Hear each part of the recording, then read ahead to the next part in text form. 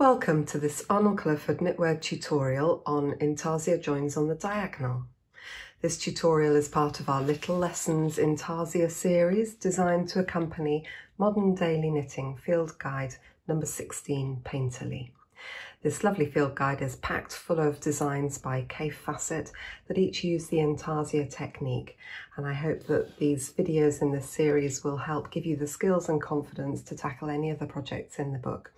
You'll find links to the other tutorials in the series in the notes section for this video.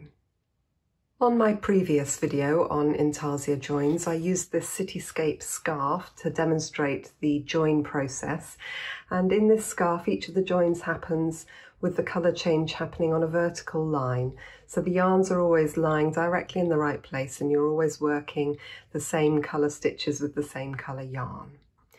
I thought it would be helpful to do a similar video for the watercolour cowl, which is this lovely design here.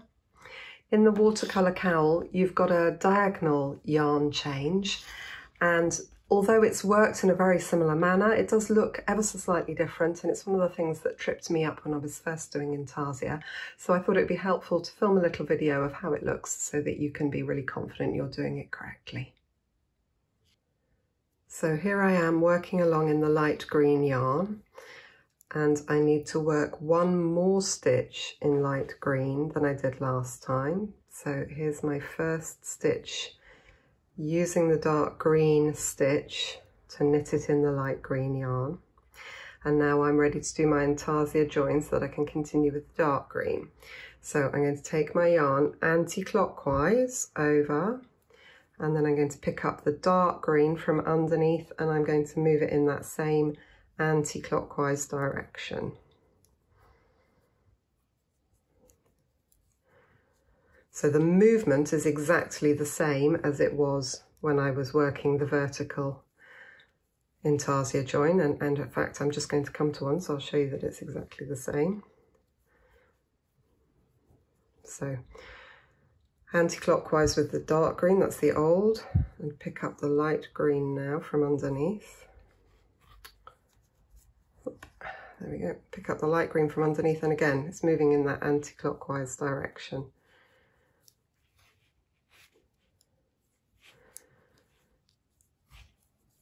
So it's sometimes described as being the old yarn passing over the new yarn but it doesn't look exactly like that on the diagonal, although the movement is exactly the same.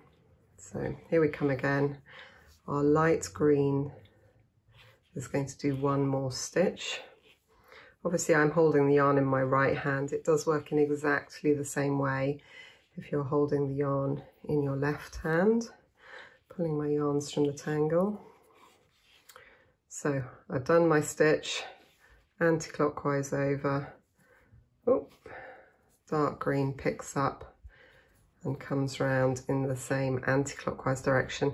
And when you pick up that new yarn, the stitch that it's attached to is that one you've just knitted. So it's quite easy to over tighten that or under tighten it. So just have a look at it when you pick that yarn up and just make sure you haven't made a mess of that previous stitch on the previous row. And then you're ready to knit the next one and just again once you've knitted that stitch, just have a look at it, make sure you're happy with it. Okay, and then here we've come to that vertical join again, where the colour changes vertical. So anti-clockwise, pick up the new yarn, pull it from the tangle, anti-clockwise again.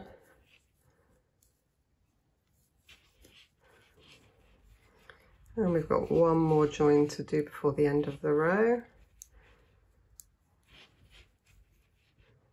Here we go, last stitch in the green is going to be knitted in the light green and then boom, pick up from underneath and bring it up in the anti-clockwise direction.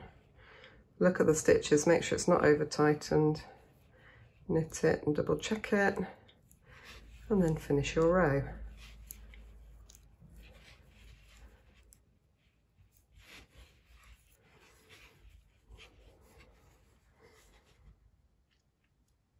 On the wrong side rows, that colour change on the diagonal is worked in just the same way. So this next stitch needs to be light green. So we go over in that direction. We pick up the light green from underneath, pull it from the tangle.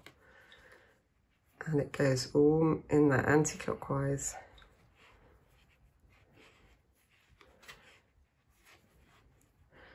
Move that dark one out of the way now. We're done with it. And you can see that it's making a nice loop along the edge there.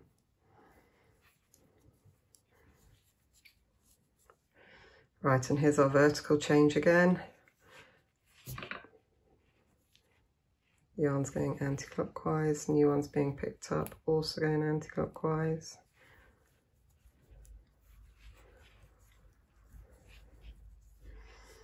Okay, and you can see down the back here, there's the loops join on the vertical. And here's one on the diagonal down here. It's maybe not quite so clear, but it is just the same looped join between the two colours.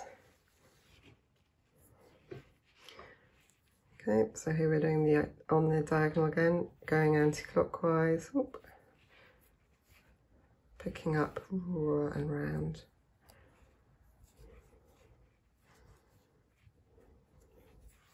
You've got a combination of the uh, purl bumps from the dark green yarn here in the way, but here's our intarsia join. You've got the light green loop there, and then the dark green loop here, light green, dark green, light green, all down that diagonal. And if you look at it on the right side, it's really nice and smooth and there's no, no gapping or anything like that. It's just nice and even tension. I do hope you found it helpful to see how that intarsia join has worked on a diagonal. It's worked exactly the same on the diagonals, leaning in the opposite direction. You just keep going with that anti-clockwise movement of the two yarns, doing the one you're using first and then picking up the new yarn from below and moving it round.